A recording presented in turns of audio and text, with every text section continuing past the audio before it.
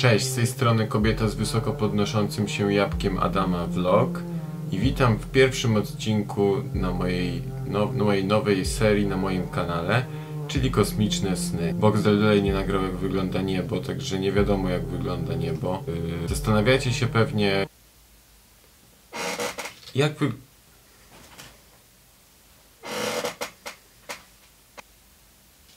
Jak wygląda piekło? A co jeśli piekło w ogóle nie wygląda? Dla niektórych pewnie ciężko będzie wytrzymać, że pierwszy odcinek bez brody jest poważny. Pomogę wam. Na początek chciałbym wam opowiedzieć sen mojego znajomego. Możliwe, że to nie był sen, tylko jakieś yy, objawienie, czy coś, co mu po prostu przyszło do głowy w trakcie medytacji, ale z tego co pamiętam to był sen. Opowiadał mi, że miał taki sen, w którym on powiedział, że to było piekło i niebo. Ludzie siedzieli przy stołach i w piekle, i w niebie. Można powiedzieć, że na pierwszy rzut oka piekło i niebo wyglądało tak samo. Przy jednych i przy drugich stołach ludzie mieli ręce tak na boki, że mogli karmić tylko tę osobę po lewej i po prawej swojej stronie i w niebie ludzie wszyscy karmili siebie nawzajem. Była taka harmonia i, i ład i wszyscy byli najedzeni, dlatego że jak ktoś coś chciał dostać z drugiego końca stołu, to ludzie sobie wszyscy to e, podawali. Natomiast w piekle ta osoba mówiła, że panował chaos, nikt nie karmił osoby obok i przez to nikt nie był e, najedzony. Mm, Ja natomiast mam wizję tego taką, że ludzie w tym piekle to do tego stopnia już wyskilowali sobie te ręce, że sobie nawzajem z gardeł wyjmują jedzenie. Nie ma czegoś takiego, że nikt się nie nakarmi, bo jest chaos, tylko to jest dobrze zorganizowane podpierdalanie sobie z gardeł jedzenia nawzajem. Jeszcze tak, żeby najlepiej wyrżnąć komuś trochę flaków, no bo tym też się można spokojnie najeść, jak ktoś y, mieszka w piekle. Tyle chyba o tym śnie chciałem opowiedzieć. Chyba w trakcie tamtej rozmowy pomyślałem sobie, że też chciałbym zobaczyć, jak wygląda piekło. Tak sobie zażartowałem, a może to było podświadomie na poważnie. No i wygląda na to, że później mi się to piekło przyśniło. Teraz opowiem wam mój sen. Nie spodziewałem się, że zaczniemy tę serię tak z grubej rury, bo nigdy wcześniej takiego snu nie miałem. Aż e, zapytałem na grupie mojej na Facebooku ludzi, czy ktoś te- też coś takiego e, miał, to na koniec odcinka przeczytam tam anonimowo różne e, komentarze. Może zacznę tak od, od końca, że obudziłem się i przez y, no, ponad godzinę nie mogłem się ogarnąć, doprowadzić do takiego normalnego stanu psychicznego, tylko cały czas płakałem. Teraz już się czuję normalnie, znaczy w miarę normalnie, bo jeszcze jestem w takim, można powiedzieć, afterglow po tym y, szoku. Ym, jak wyglądał ten sen właściwie i co mnie skłoniło do tego, żeby nagrać w ogóle ten odcinek e, dotyczący piekła. Sen był takim światem, w którym powietrze czy y, uczucie smutku, strachu, te wszystkie negatywne uczucia były tak w, zawieszone w y, przestrzeni jak powietrze. Oddychało się tym, że nie dało się w żaden sposób uciec od, od, od tego. Ja tu sobie zapisałem, że to był świat spełniających się obaw, dlatego że y, cały ten świat był złożony z y, osób takich, które ja znam, które były przedstawione jakby w takiej karykaturze, w której były uwzględnione tylko jakieś wady tych osób i cały świat opierał się o to, że ci powiedzmy w jakiejś sytuacji silniejsi wykorzystywali słabszych, wykorzystywali czyjeś błędy. Nie było żadnych zdarzeń takich, które prowadziłyby do jakiegoś radosnego stanu. Wszystko, nawet jeśli zaczynało się,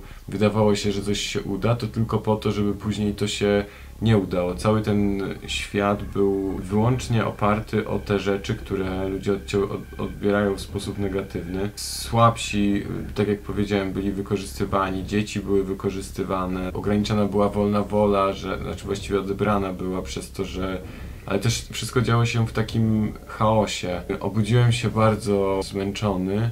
E, W ogóle nie mogłem na początku się tak dopasować do rzeczywistości, bo sen tak jak wcześniej nie miałem czegoś takiego, tak ten sen trwał 3 dni, a spałem tylko przez 7 godzin, czyli rzeczywiście ta zasada powiedzmy incepcji tutaj w tym wypadku zadziałała. Przez to, że składał się z trzech dni, to były tam też trzy oddzielne, różne trochę sytuacje towarzyszące tym trzem oddzielnym dniom.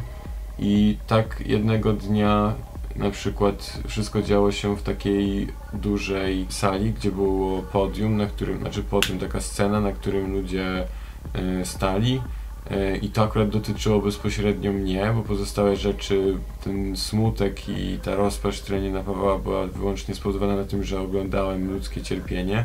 Natomiast ten ostatni dzień był, yy, czy to nie był ostatni w kolejności chronologicznie, ale ten, ten dzień, o którym chcę powiedzieć, to był yy, taki, w którym yy, ja wszedłem na tę scenę, bo tam się działo coś takiego, co mi się nie podobało, co właśnie było oparte o te zasady tego świata. Chciałem zatrzymać ten to, to show, które tam się odgrywało, jakieś przedstawienie, bo tam było dużo ludzi. Zabrałem mikrofon tej osobie i zacząłem mówić i zacząłem sobie z tego żartować. Tak jak często mam taką, taką reakcję, że w momencie, kiedy dzieje się coś takiego, co ja uznaję za no, złe, czy, czy po prostu mi się nie podoba. Staram się pokazać to w taki sposób, żeby, żeby to wyśmieć, żeby pokazać alegorycznie te wszystkie y, złe y, rzeczy w tym, te, które mi się nie podobają, te, które uważam za głupie czy niepotrzebne, żeby je pokazać w takim krzywym zwierciadle. I tam też zacząłem to robić i w tym momencie był y, nie można tego nazwać radością, bo to był taki dopiero, można powiedzieć, przedsmak czegoś, co się udaje, i e, w tym momencie, jak już, jak już poczułem, że zaczyna mi się udawać, to nagle y, nawet nie potrafię powiedzieć, jakie to były wyrazy, bo w moich snach nie ma w ogóle dźwięków, nie ma. Jak jest rozmowa, to ona jest telepatyczna, jakby w takim rozumieniu, jak rozumiemy rzeczy telepatyczne. W tym momencie, jak zaczęło się już udawać przekształcanie, można powiedzieć, tej zbiorowej świadomości w tym śnie, to ja zacząłem się tak sypać. Znaczy, ta moja wypowiedź z idącej w górę zaczęła iść coraz bardziej w dół, coraz bardziej w dół. Ja wchodziłem w taką żenadę, nie wiedziałem co powiedzieć i w końcu ktoś y, podszedł do mnie i powiedział coś w stylu, że no na ciebie już pora, żeby stąd zejść. I to nie było coś takiego, że to było siłą, tylko mogłem to zrobić, tylko nic się nie udawało. I tutaj znowu wracamy do świata spełniających się obaw. Co jeszcze chciałbym podkreślić, to że to znęcanie się ludzi wynikało, było tak straszne i tak przykre w obcowaniu z tym głównie przez to, że ci ludzie wszyscy mieli bardzo wysoką empatię. O tym pisałem właśnie na, na grupie na początku, jak e, zaraz po tym jak wstałem, jak e, opisywałem to i pytałem, czy ktoś też tak miał, bo wtedy jeszcze miałem ten e, efekt taki no, po godzinie płaczu, że nie mogłem po prostu wyjść z tej, z tej fazy ale faza. Więc ci wszyscy ludzie mieli właśnie bardzo wysoką empatię, która pomagała im jeszcze lepiej uzyskiwać te słabości innych ludzi, potrzeby innych ludzi i też jakby cały ten świat miał swoją własną świadomość dążącą w tym kierunku, żeby wszystkim, którzy wewnątrz niego się jakoś manifestują, te świadomości, żeby wszystkim tym świadomościom nie wychodziło i żeby się nawzajem e, atakowały. Tak jak e, mówiłem w rozmowie z Bart, jestem potomkiem Pumbrusza Cezara. Ra plus Ra plus Pum plus Ber. Jestem potomkiem Pumbrusza plus Ber plus Pum plus Ber. Chyba w trakcie tamtej rozmowy albo wcześniej powiedziałem coś takiego, jak rozmawiałem z kimś, że ja bym chciał zobaczyć jak jest w piekle. Tak samo też ktoś zwrócił uwagę, jak wrzuciłem ten post na grupę, że też mówiłem, że chciałbym zobaczyć jak jest na skręcie heroinowym, że nie chciałbym brać, nie chciałbym tych miłych uczuć, tylko doświadczyć tych negatywnych. I też tam napisałem, że to jest e, coś e, w stylu ćpanie skrajnych emocji, że teraz budzę się i przez godzinę płaczę i nie mogę się ogarnąć, ale za dwa czy trzy tygodnie będę się zastanawiał, a co jeśli jest jeszcze jakieś gorsze uczucie i będę to kminił do momentu, dopóki we śnie czy jak inni w astralu nie spotka mnie właśnie to, czego sobie życzę. Więc trzeba uważać, czego człowiek sobie życzy. Co chciałem powiedzieć jako konkluzja tego filmu, piekło w ogóle nie wygląda, dlatego że piekło to nie jest miejsce, tylko piekło to jest stan świadomości, w którym znajduje się ten byt, który doświadcza piekła, więc piekło w cudzysłowie, dlatego że to nie jest tak, że idzie się do piekła albo idzie się do nieba, bo chodzi się na ziemi. Niekoniecznie używa się w ogóle takich jakichś paradygmatów, argumentów, y, atrybutów przemieszczania się czy robienia, wykonywania czynności ludzkich w innych abstrakcyjnych światach. Określmy sobie je, je jako pozażyciowe jakieś, pośmiertne albo po prostu światy abstrakcyjne. Rozwiązaniem jest śmierć po prostu, żeby tego nie doświadczać. Po różnych substancjach odurzających ktoś może mieć takie uczucie, że nigdy nie chce być trzeźwy. Tutaj y, przeciwne uczucie właściwie do tamtego jest, y, że nie chce być nigdy więcej żywy i wtedy taka sytuacja, taki stan psychiczny, można powiedzieć, jeśli to się rozciągnie na długi czas, to jest to już wtedy wyraźny objaw depresji. Coś takiego może prowadzić do właśnie tej myśli, że yy, wyjściem jest tylko śmierć, więc samobójstwo, ale później pomyślałem, że co jeśli ten stan świadomości, w który się wprowadzamy na Ziemi, po prostu zostaje po śmierci. Jeśli przyjmiemy, że świadomość ludzka jest e, nieśmiertelna i nie, jest, nie wynika wyłącznie z ciała, tylko po prostu istnieje, że jako że powstała, to że będzie istniała, jeśli przyjmiemy takie założenie, to e, jednym z prostszych rozwiązań tego, co się z nią stanie po śmierci, jest to, że będzie powtarzała dalej to, co robiła wcześniej. Możemy spojrzeć na chociażby komputer, który jak się zawiesi, to często wpada w pętlę, w programy komputerowe, które można wprowadzić w nieskończoną pętlę. E, jeśli nie ma czegoś, żeby pójść dalej, nie ma więcej nowych nowego inputu, to y, wypływamy cały czas to samo. Ten program komputerowy w postaci ludzka świadomość wypływa cały czas to samo i myślę, że jest y, spore prawdopodobieństwo, że to, co czeka człowieka po śmierci jest związane z tym, w jaki sposób w jakim stanie świadomości umiera. W takiej prostszej wersji można po prostu powiedzieć, że człowiek się zapętla. Jak wiecie, pewnie wiele osób w ogóle na Ziemi żyje w zapętleniu i w nieświadomości. Jeszcze na koniec wracając do tego, co kiedyś rozważaliśmy, e, ja się zastanawiałem nad tym, jak, czy istnieje zło, które jest Y, wyrafinowane. Nie wiem czemu zawsze wyrafinowany mi się kojarzy z parafina. Co zrobić, żeby zło było dobrze wyparafinowane? Zastanawialiśmy się nad tym chyba na moich e, streamach. E, możliwe, że też coś pisałem z widzami. W każdym razie poruszałem parę razy ten temat, że uważam, że zło też się powinno rozwijać. Też chyba było na tym kanale po prostu w filmikach. I że fajnie, gdyby to zło i dobro, zło, zła i dobra rywalizowały ze sobą na wyższych poziomach, żeby to było ciekawsze i żeby to bardziej e, decydowało pod kątem logicznym myślenia, kto wygrywa, a nie pod takim e, ilościowym, że on tutaj tych, tych złych było więcej, to wygrali. Bo wszyscy są głupi, nikt sobie nie zdaje. To gorsze zło to jest właśnie to bardziej świadome, bo często e, krzywdzenie ludzi emocjonalne wynika z tego, że druga jednostka jest po prostu nieświadoma, jest ignorantem, nawet nie z wyboru, tylko tak nauczonym przez życie, osobą, która się nigdy nie uświadomiła. To, to co dużo ludzi, którzy mówią o tych rzeczach, tych sprawach takich duchowych, to co nie rozumieją przez uświadomienie się, usamoświadomienie się, enlightenment i te wszystkie takie, wiecie, spiritual coś tam, zastanawianie się nad sobą zastanawianie się nad światem i analizowanie nie tylko tego, co oczywiste, że no trzeba jeść, trzeba się zesrać, haha, żarty o sraniu. To, do czego nie dociera polski stand-up i większość w ogóle ludzi na ziemi, to to, żeby się y, zastanawiać nad, nad sobą, nad uczuciami, czasami tym, czy tutaj chciałbym być znów za 10 lat, czy nie chcę czegoś więcej od życia, co jeśli to jest jedyny mój czas, kiedy w tym świecie mogę czegoś doświadczyć, czy rzeczywiście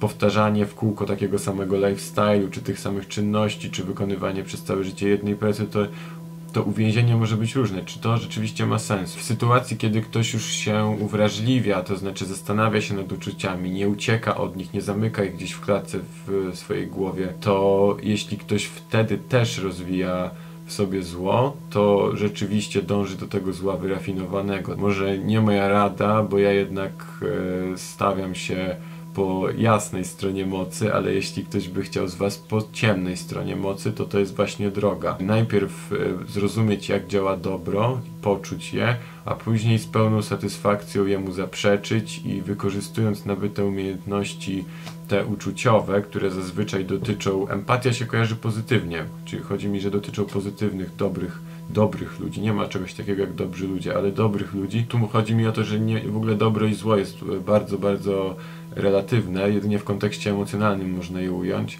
bo tak to nikt nie ma takiego komputera, żeby zrobić symulację i powiedzieć, co wyjdzie najlepiej, a później też jak to analizować, czy tam, gdzie będzie najmniej ofiar, czy tam w sensie ofiar zła, czy tam, gdzie będzie najwięcej ludzi dobrych, nie wiadomo jakie przyjąć kryteria, więc ciężko określić, co jest dobre, a co złe. Zwłaszcza, że mamy te punkty widzenia. W każdym razie, jeśli ktoś yy, chciałby doświadczać tego wyrafinowanego zła, to najgorsze, co w tej chwili jestem w stanie sobie wyobrazić, czego doświadczyłem, jest właśnie empatyczne zło. Co brzmi trochę jak oksymoron, ale jest to coś, co w moich wyobrażeniach się pojawiło, czego doświadczyłem i co nawet mnie, y, takiego hardkorowca, złamało. Tak jak tam opisywałem, że na grupce, że, że muszę się nad sobą zastanowić i jednak podjąć trochę ignorancji w pewnych aspektach swojego myślenia, bo po prostu w końcu horror zapuka do mych drzwi. Horror TV otwiera wam drzwi. Chodzi mi tu o, o to, że właśnie ja bardzo lubię tego zła doświadczać, nie jednoczyć się z tym, ale czuć jak ona atakuje. Lubię y, horrory, thrillery psychologiczne tam pisałem, że lubię jak robię muzykę to albo straszną, albo smutną. Otaczam się często ludźmi z dużymi problemami. I to wszystko gdzieś podświadomie dąży tak do tego, żeby cały czas doświadczać jeszcze gorszych rzeczy. Mam nadzieję, nie wiem, mam, nie wiem czy mam nadzieję. Ciężko mi coś powiedzieć, bo boję się, że sobie coś wykrakam. Także może nie będę za dużo mówił. Omani, omani, czułoku, ułakę. Omani, omani, czułoku, ułakę. A je, je, uchu, uchu, a koko, je, uchu, uchu, a je, je, uchu, uchu, a koko, je, uchu, uchu. Na temat y, tych jeszcze, y, tego, że każdy ma oddzielny punkt widzenia, że Dlatego piekło nie wygląda, że wyglądać może coś, co się manifestuje w naszym świecie fizycznie i ma jakiś, y, jak to y, mówią ezoterycy, kod matrycy, Sanjaya, y, reptilianie, pozdrawiam. Coś, co jest wgrane tak, żeby wszyscy widzieli to tak samo i coś, co jest w takim prostym świecie jak nasz. Natomiast mm, w świecie snów każdy widzi co innego, każdy ma własny świat. I tak samo w tym świecie jest takie pojęcie jak mapa, że każdy sobie tworzy mapę świata, każdy świat widzi trochę inaczej. I każdy te negatywne uczucia też będzie przeżywał trochę inaczej, każdy będzie miał trochę dusza czy świadomość będzie miała trochę inne y, fobie, in, innych, y, inne rzeczy będą dla niej straszne, inne zjawiska mogą powodować te uczucia, ale co w moim obecnym odbiorze jest tym, pie tym piekłem, to właśnie doświadczanie takiego świata, w którym ja się znalazłem y, dzisiaj w y, trakcie snu, czyli świata spełniających się obaw, świata, w którym nic się nie może udać i świata, w którym cały czas jest ta nadzieja, że coś się uda, ale to się nigdy nie wydarza. Takie syzyfowe prace związane z ciągłym cierpieniem, powodowanym niespełnieniem pragnień i zaprzeczeniem wolności, i tym, że jest się ciągle na świeczniku ze swoimi emocjami, bo ludzie są tak inteligentni, przebiegli, empatyczni i tak to wykorzystują, że rozwija się yy, to dobro, ale ujemnie. To nie jest konstrukt zła, tylko to jest dobro ujemne i w tym momencie nie jestem pewien, czy siła dobra byłaby w stanie z tym wygrać. To znaczy tam to zło tak dobrze odnajduje się w empatii, która jest domyślna dla dobra i potrafi ją wykorzystywać, że nie mam pewności, że dobro zwycięży. No to tak samo jak wgrywają nam cały czas w bajkach, że świat chce zniszczyć y, czarny charakter, y, zła osoba, the villain, a w rzeczywistości to jest jedna z metod na uwolnienie wszystkich dusz. Pomyślcie sobie, wszyscy ci, którzy wierzycie w reinkarnację i chcecie, żeby naprawić planetę Ziemię, żeby wszystkie dusze mogły stąd odejść. Jak zbudujemy taką bombę, żeby rozwalić całą planetę i nie będzie się tutaj dało żyć, to nie będzie więcej reinkarnacji, bo nie będzie ciała, w które dusza będzie mogła wstąpić. Także myślę, że wszyscy ludzie ci rozwinięci duchowo powinni gromadzić się i mobilizować nawzajem i innych, żebyśmy zajęli się wreszcie tworzeniem tej bomby do zniszczenia Ziemi, całej planety. Mm, no i wtedy będzie spokój. Wtedy już nikt się więcej tutaj nie będzie reinkarnował na tym marnym padole. To tyle ode mnie, zapraszam na listy do redakcji.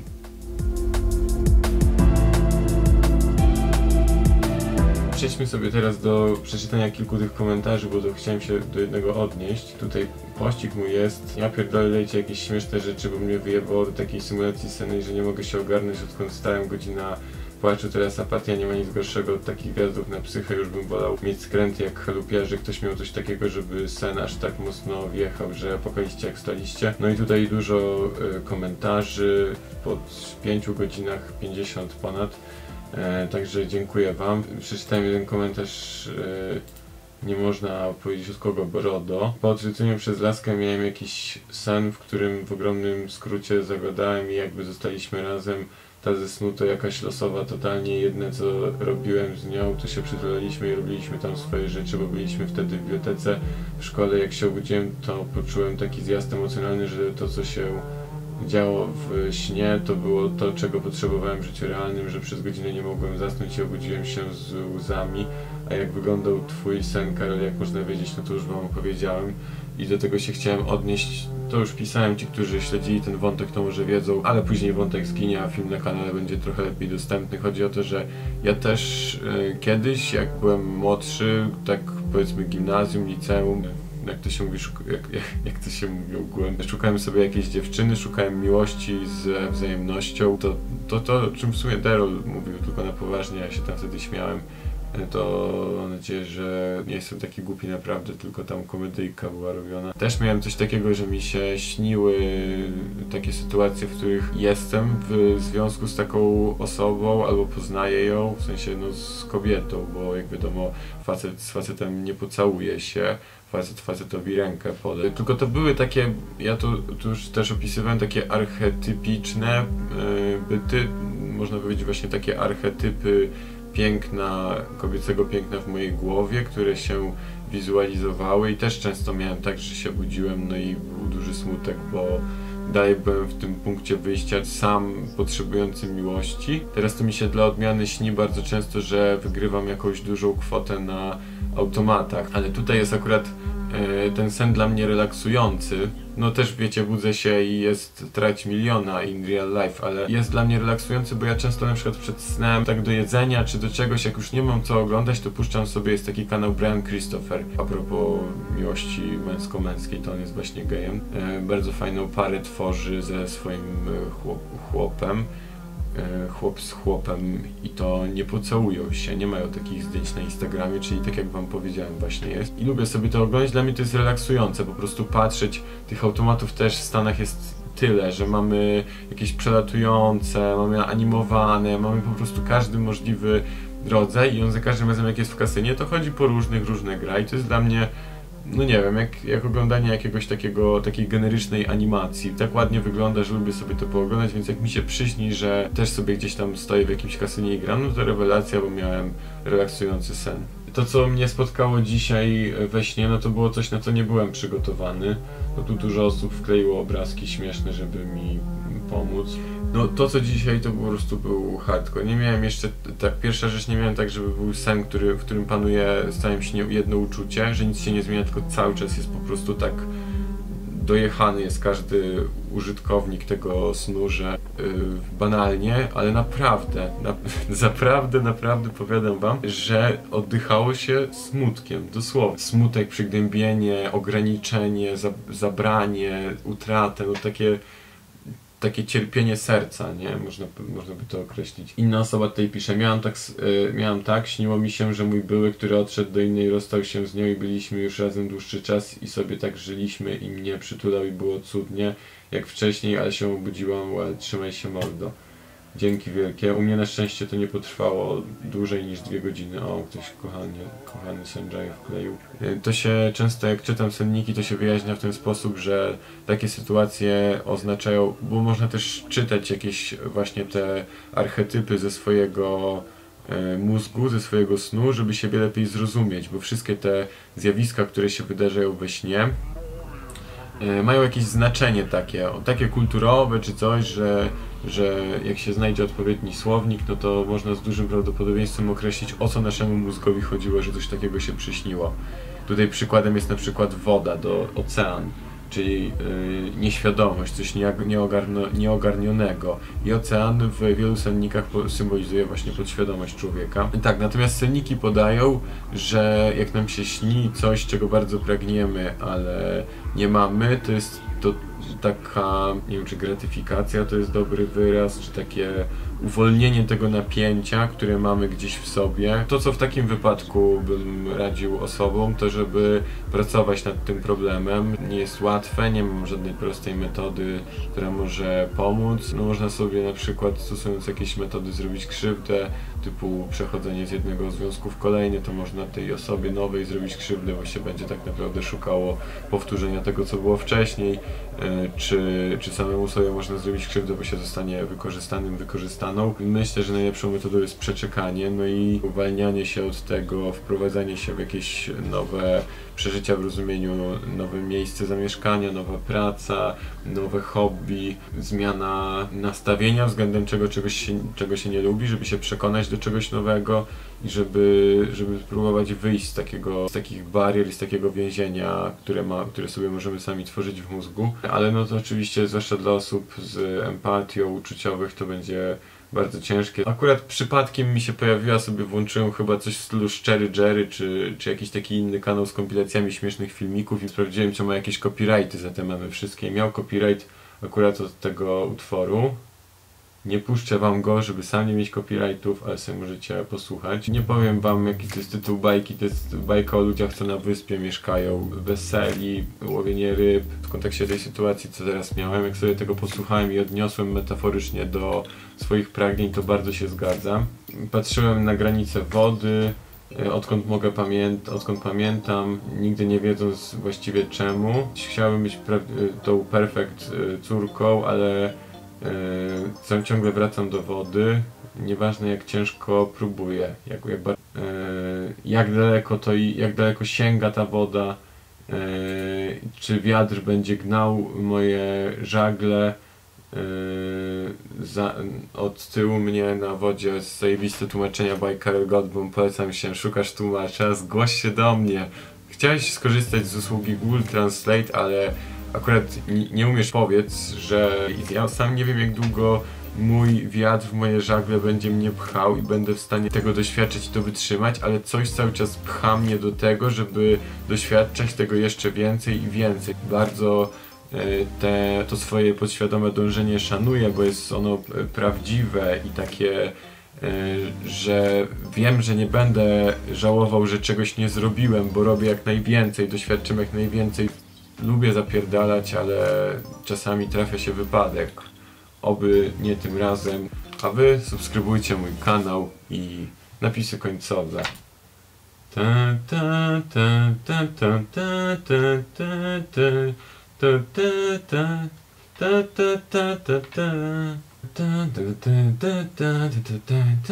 La la la la la la la la la boom boom boom boom Watch it, get where Diable. Get where Diable.